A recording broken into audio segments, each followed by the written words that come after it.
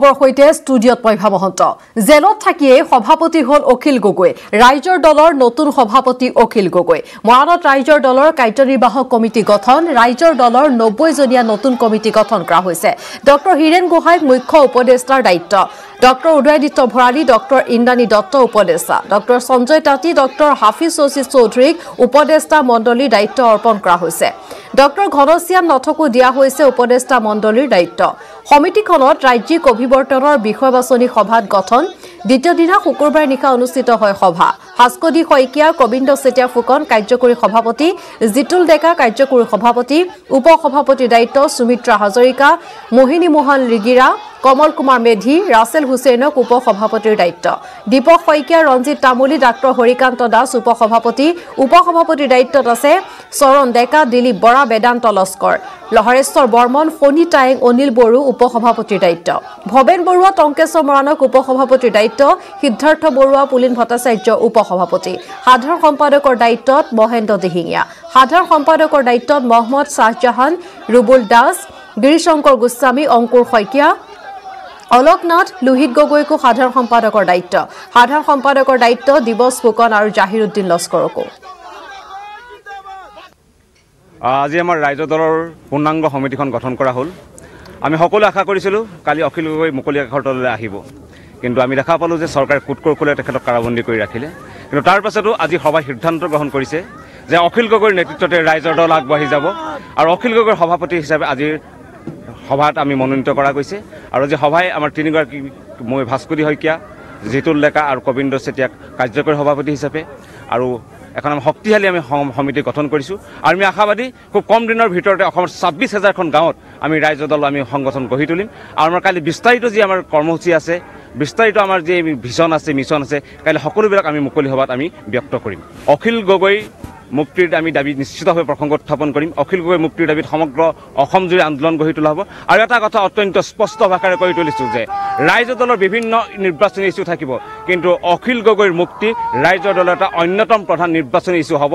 কাৰণ অখিল গগৈটোৱে এতিয়া এজন ব্যক্তি হৈ থকা নাই। অখিল গগৈ অসমত গণতন্ত্ৰ ৰক্ষাৰ অখিল গগৈ অসমত সাংবিধানিক ৰক্ষাৰ এক প্ৰতীকত পৰিণত হৈছে। গতিকে অখিল গগৈৰ মুক্তি ঐক্যশ্বৰ বিধানসভাৰ নিৰ্বাচনত এটা অন্যতম প্ৰধান নিৰ্বাচনী ইছ্যু কৰি তোলা হ'ব। পৰৱৰ্তী খবৰ। ডনাল্ড ট্ৰাম্পৰ টুইটাৰ টীম একাউণ্ট নিষিদ্ধ টুইটাৰ কৰ্তৃপক্ষৰ। ইতিমধ্যে নিষিদ্ধ কৰিছে ট্ৰাম্পৰ ব্যক্তিগত টুইটাৰ একাউণ্ট। ফেচবুক কৰ্তৃপক্ষই ডনাল্ড ট্ৰাম্পৰ ফেচবুক পেজ চৌবিছ ঘণ্টাৰ বাবে ব্লক কৰিছিল। আৰু শেহতীয়া খবৰ আমি জনাইছোঁ চৌবিছ ঘণ্টাৰ বাবে ফেচবুক পেজ ব্লক কৰা হৈছিল। ঠিক তেনেদৰে টুইটাৰ একাউণ্টো আহ, ব্লক কৰা হৈছিল। কিন্তু শেহতীয়াকৈ ডনাল্ড ট্ৰাম্পৰ টুইটাৰ টীম একাউণ্ট নিষিদ্ধ কৰিছে টুইটাৰ কৰ্তৃপক্ষই। ইয়াৰ পূৰ্বে নিষিদ্ধ কৰিছিল ট্ৰাম্পৰ ব্যক্তিগত টুইটাৰ একাউণ্ট। ফেচবুক কৰ্তৃপক্ষই চৌবিছ ঘণ্টাৰ বাবে ব্লক কৰিছিল। ডনাল্ড ট্ৰাম্পৰ ফেচবুক পেজ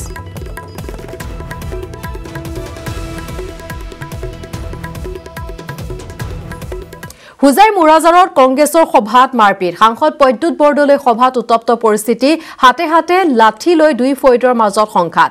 কংগ্ৰেছৰ দুই শিবিৰৰ মাজত সৃষ্টি হৈছে প্ৰচণ্ড মাৰপিট। যমুনামুখ সমষ্টিৰ মোৰাজাৰত বিন্নাকান্দি ব্লক কংগ্ৰেছৰ নেতৃত্বত অনুষ্ঠিত হৈছিল এখন নিৰ্বাচনী সভা। নগৰ সাংসদ প্ৰদ্যুৎ বৰদলৈ উপস্থিত হৈ এই সভা অনুষ্ঠিত কৰিছিল আৰু তেওঁ উপস্থিত থকাৰ মাজতে দেখা গ'ল একাংশ কংগ্ৰেছীয়ে লণ্ডভণ্ড কৰিলে সভাস্থলী। তাৰ পিছতে কংগ্ৰেছৰ দুই ফৈদৰ মাজত প্ৰচণ্ড মাৰপিট। জিলাখনৰ সাংসদ প্ৰদ্যুৎ বৰদলৈ বিধায়ক ৰকিবুল হুছেইনৰ মাজত হোৱা শীতল যুদ্ধৰ ফলত দুটা ফৈদৰ সৃষ্টি হৈছে আৰু কালিৰ সভাত যেন তাৰেই পূৰ্ণ প্ৰতিফলন ঘটিল। কংগ্ৰেছৰ দুই ফৈদৰ মাজত হোৱা মাৰপিটৰ ঘটনাত সাংসদ প্ৰদ্যুৎ বৰদলৈৰ লগতে উপস্থিত আছিল জিলা পৰিষদৰ সদস্য ৰিজা চুলতানা আৰু চৌধুৰী বজাৰ জিলা পৰিষদৰ সদস্য কামাল উদ্দিন ফাৰুকী।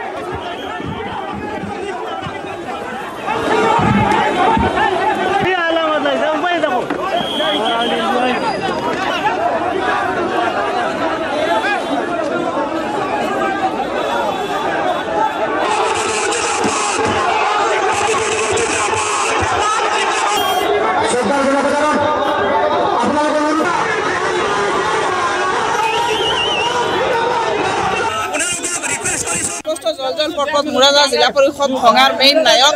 আজি ইয়াত অগ্ৰাধিকাৰ লৈছে তেখেত ব্লক প্ৰেচিডেণ্ট নহয় কিন্তু তেখেতেই আমাৰ মিটিংখনৰ কাকো ক'বলৈ নিদিয়াত নিদিয়াত সুযোগ দিয়াত আমাৰ মুৰাজাৰবাসীৰ খং উঠিছে খং উঠাত কিবা অডিয়েঞ্চৰ পৰা ক'লে মই নাজানো আৰু এয়া পৰিস্থিতি হৈ গ'ল।